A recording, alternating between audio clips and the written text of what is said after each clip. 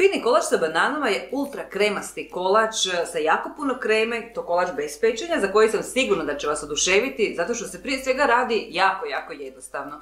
U ovom ćemo receptu, znači morate napraviti dvije različite kreme. Jedna će biti predivna krema od lješnjaka, druga će biti jako fina krema od pudinga od vanilije. U sve to ćemo naravno dodavati i nešto maslaca izrađenog sa šećerom u prahu. Biće to i puno slatkog vrhnja, naravno slojevi banana. U slojevima ćemo slagati, znači prvo petit kekse, pa ćemo staviti kremu od lješnjaka, na sve to ćemo smisliti fino banane, nakon toga fina žuta kremica od pudinga od vanilije i onda tako u slojevima dok ne završimo cijeli naš kolač.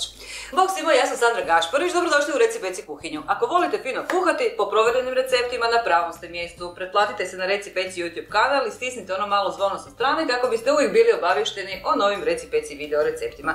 Idemo sada napraviti ovaj kolač. E, rekla sam vam u startu da ovdje imamo e, dvije različite vrste kremice, znači jednu od pudinga od vanilije, drugu od lješnjaka. Za početak idemo napraviti ovu od pudinga. Znači, e, suhi prah puding pomiješamo sa nešto šećera i sa jednim malim dijelom mlijeka. Ovaj drugi veći dio mlijeka stavljamo kuhati i kada zavrije u njega ćemo ukuhati ovaj ostatak. I kuhat ćemo ga naravno tako dugo dok se fino ne zgusne. Znači, tipični, klasični način kuhanja pudinga.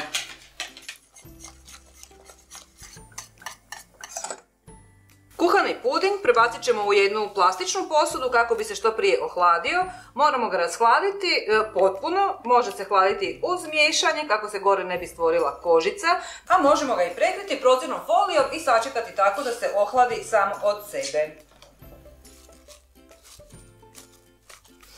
Za kremu od lješnjaka e, moramo pomiješati lješnjake koje smo prethodno tostirali i zamljeli sa šećerom i vanilin šećerom. I sada kada se to sve ovako lijepo izmiješa, dodamo kipuće mlijeko. Mora biti kipuće mlijeko kako bi uh, uspjela ova krema u stvari. Znači i uz miješanje lijepo to sve skupa spojimo.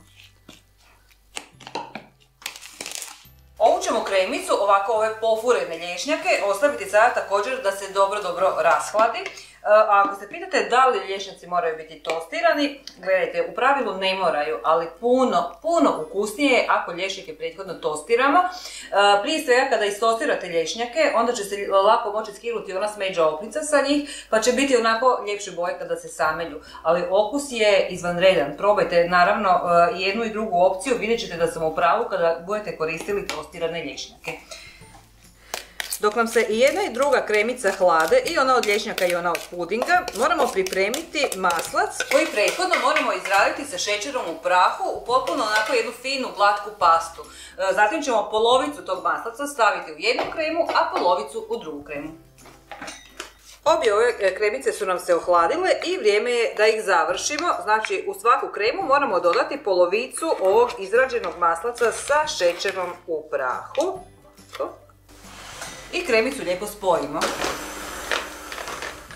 I sada ćemo još u ovu kremicu od vanilije, kako bi bila još pakuljastija, dodati polovicu čvrsto utučenog slatkog vrhnja.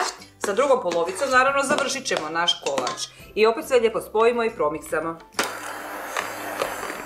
I ovu ohlađenu kremu od e, lješnjaka Dodajem isto u ovom drugom dijelu izrađenog maslaca, jednostavno zato jer mi je lakše miksati u ovoj malo višoj posudi. I lijepo mikserom sve izradimo da bude onako fina, fina glatka. Za ovaj recept treba nam još 4-5 banana, ne mogu vam reći točno koliko, ovisi sve koliko su banane velike. E, moramo ih narezati i zaliti sa jednim ocijeđenim limonom, kako nam banane, prilikom stajanja, prije pripreme, a i stajanja u samom kolaču ne bi potamnile. Znači, lijepo promišamo sa limunovim sokom.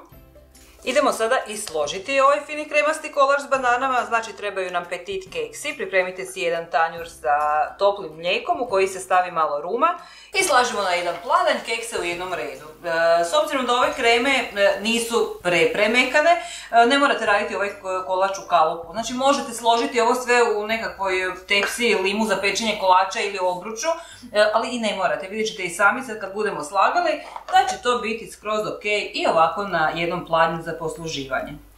Preko prvog reda keksa rasporedimo polovicu kreme od lješnjaka, Treba je rasporediti ovako u malim hrpicama kako bi se što lakše razmazala preko cijele površine. S obzirom da nema baš puno, pa e, treba znači pažljivo ovako rasporediti. Jednostavno lakše ćete razmuljati ako se rasporedi u manjim hrpicama.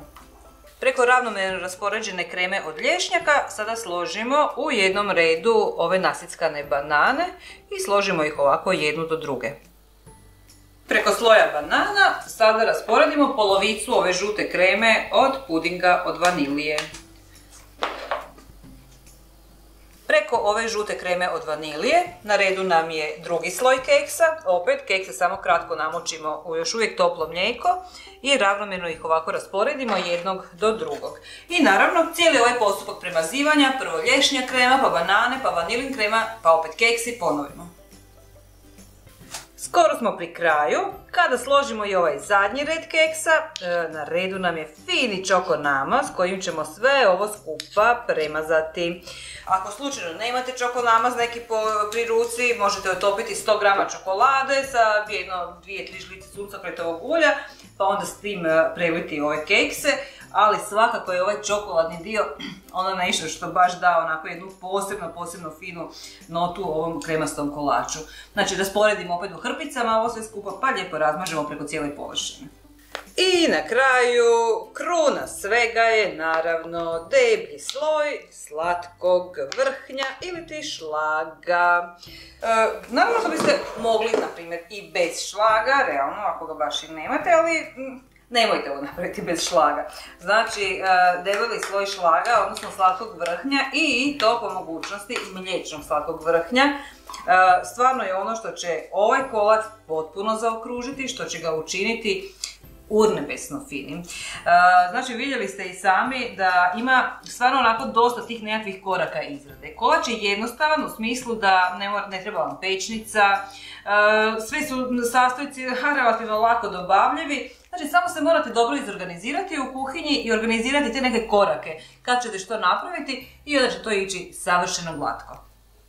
Kolač sada moramo samo dobro ohladiti i to ga moramo jako dobro ohladiti. Znači najbolje bi bilo da ovaj kolač odstoji preko noći, a naravno ako ga radite u nekakvom poslijepodnevnom terminu ili barem 3 do 4 sata u hladnjaku, najmanje. Jer evo vidite ovo je sada onako prilično sve jako, jako još uvijek je mekano. Kreme ima urnebesno puno. Rekla sam na početku da radimo jedan jako, jako kremasti kolač. Da bi se on uopće mogao odrezati, mora se sve lijepo onako prožeti, moraju se kreme fino stisnuti, što i hoće, jer u njima stvarno ima dovoljno maslaca. Samo morate dati malo vremena. Nakon toga možete ga rezati na kocke, e, možete ga rezati na onako režnjiće, recimo kao nekakvu tortu, znači sami odlučite kako ćete ga poslužiti. U svakom slučaju pre, pre finije. Ja se nadam da vam se ovaj recept svidio, probajte ga napraviti što prije, pišite mi u komentarima kako vam je ispalo i naravno budite uz recipeci neki sljedeći put. Bog svima, vidimo se!